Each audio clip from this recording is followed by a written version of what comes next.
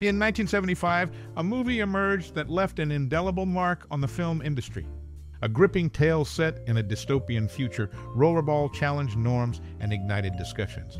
As you dive into this cinematic journey, brace yourself for a roller coaster of emotions, funny, shocking, and sad facts await.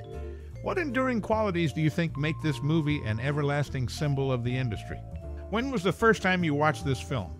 Now, reflect on your most cherished memory or personal experience related to this cinematic gem. Share your stories and memories in the comments below. We would love to hear them. Keep watching for more surprises and let the nostalgia flow. A viewer first encountered the 1975 film Rollerball upon its release and found it captivating. Initially hesitant to revisit it for fear of disappointment, they eventually returned to unravel the details that had left a lasting impression. Surprisingly, the movie has aged well, offering a plausible dystopian vision of the future with enduring resonance. Set in 2018, it, much like Blade Runner set in 2019, intriguingly omits mobile phones while portraying distinct worlds. Rollerball, despite its futuristic setting, transcends traditional science fiction, serving as a commentary on the power dynamics of global corporations, the stark divide between social classes, and the self-serving nature of the elite. The film adeptly navigates these themes without succumbing to heavy-handed storytelling, exemplified by scenes like the post-game Gathering with Trees. The sparing use of the titular games allows the narrative's real essence to emerge, Jonathan, the central character, undergoes a subtle transformation as they become increasingly aware of the world beyond the game while maintaining unwavering loyalty to their team and the sport itself.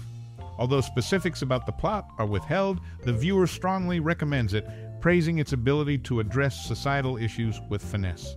In conclusion, Rollerball stands out for its timeless exploration of societal dynamics and the individual's place within them. In rollerball, specific shirt numbers are exclusively designated for the motorcycle riders on both teams. The exterior shots showcasing the Energy Corporation building are, interestingly, repurposed footage of the corporate headquarters of BMW in Munich, West Germany. Additionally, the bowl-shaped library building depicted in the film is the old BMW museum, situated just a few steps to the left of the headquarters entrance.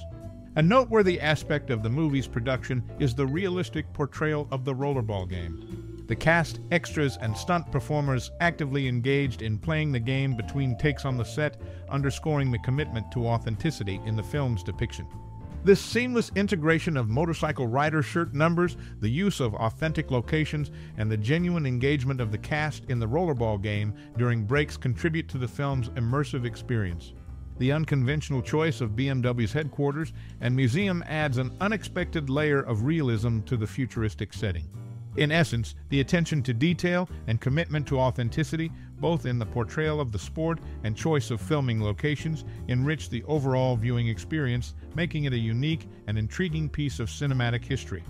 Dieter Mayer faced the challenge of sourcing enough extras to lend credibility to the depiction of Tokyo in the film, the crew distributed flyers at local hotels, attracting 150 Asians eager to participate in the required filming days. James Caan, when asked about the film's plot, humorously responded, It's about 90 minutes, although the actual runtime is 125 minutes. While Jonathan E.'s last name remains unspoken in the film, an executive at the party mentions Evans is out, making it clear he refers to Jonathan. The context eliminates ambiguity. These behind the scenes insights, from recruiting extras for authenticity to James Caan's witty remark, and the subtle reveal of Jonathan E.S. last name, offer a glimpse into the meticulous details of Rollerball's production. These anecdotes contribute to the film's unique charm and behind the scenes dynamics, providing additional layers to the viewer's experience.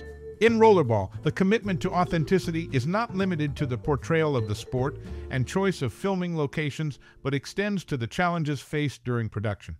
The anecdotes about recruiting extras, James Caan's humorous response, and the subtle character details add depth to the film, enriching its narrative in unexpected ways. This pragmatic approach to filmmaking enhances the overall viewing experience, showcasing Rollerball as a noteworthy piece of cinematic history. William Harrison penned the original short story Rollerball Murder for Esquire magazine in 1973, later adapting it into the screenplay for this film. The Tokyo fans chant Ganbare Tokyo, meaning do your best, Tokyo, during the Tokyo Houston game adds cultural authenticity. Notably, before the rule changes depicted in the film, the match's record deaths were already at 9 out of 24.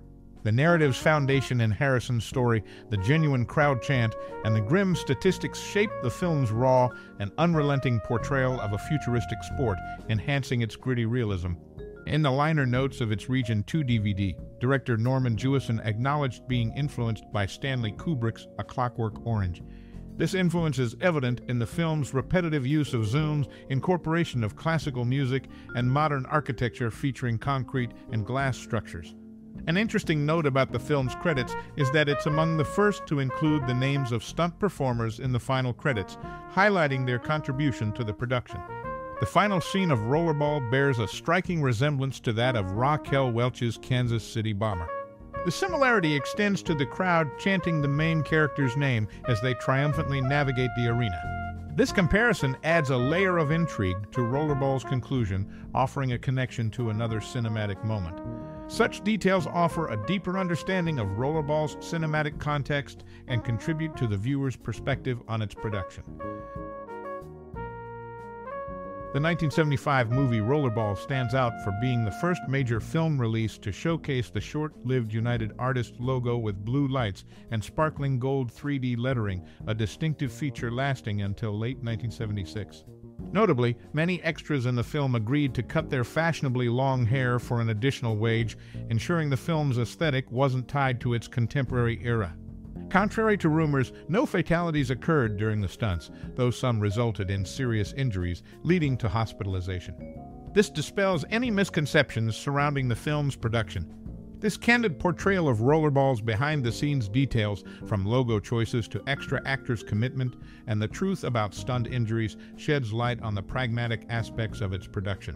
This, in turn, adds a layer of authenticity to the viewer's understanding of the film, making Rollerball a distinct piece of cinematic history. The crowd scenes in the film leverage audio recordings from an Arkansas TCU basketball game in Fayetteville, Arkansas, adding an authentic touch to the ambience. The pistol featured in a scene wielded by a drunken party guest to incinerate pine trees is a Ruger Standard 22 caliber target pistol from 1949, intricately modified to resemble a futuristic weapon. Norman Jewison chose James Caan for the role of Jonathan E. based on his portrayal of real life Chicago Bears running back Brian Piccolo in the TV film Brian's Song. The use of real sports audio, the modification of a vintage firearm, and the strategic casting decisions contribute to the film's authenticity and behind the scenes dynamics, enhancing the viewer's understanding of Rollerball's production.